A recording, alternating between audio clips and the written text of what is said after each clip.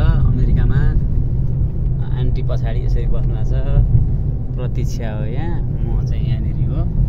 अब हामी चाहिँ मन्दिर जाँदैछौँ हनुमान मन्दिर होइन?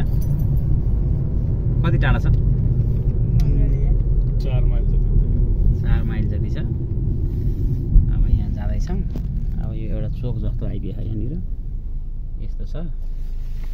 यो हाम्रो चाहिँ मिकिनी भन्ने ठाउँमा हो यो डलासको। यो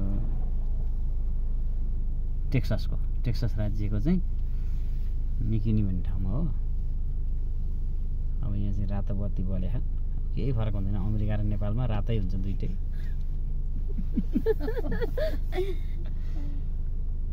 हिँडिहाल्ने हुन्छ। हरियो बल्ने हुन्छ तर काउन्ट गर्दो रहेछ। हाम्रो नेपालमा त गन्छ नि त। हाम्रोमा चाहिँ कति बेर बाँकी। यति यति सत्र सोह्र गरे हुन्छ। यहाँ उनीहरूलाई हिसाब नआएर नि होला। नेपाली आउँदैन उनीहरू जति अङ्ग्रेजी जाने नि क्या। यिनीहरूले सत्रभन्दा मुनिपट्टि सोह्र छ भन्ने थाहा नपाइकन मर्छन्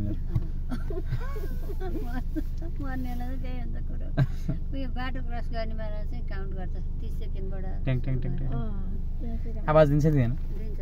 दिन्छ है। त्यो उहरूलाई आँखा नदेख्नेहरूलाई तिनीहरूलाई चाहिँ जा जा भन्छ. त्यहाँ गो गो गो भन्छ कि? अँ। त्यो बेसी ल यो। बल्यो यता यस्तो छ। यस्तो छ। एकदम रमाइलो भइरहेछ अमेरिकामा। यो चाहिँ चर्च जस्तो छ के होला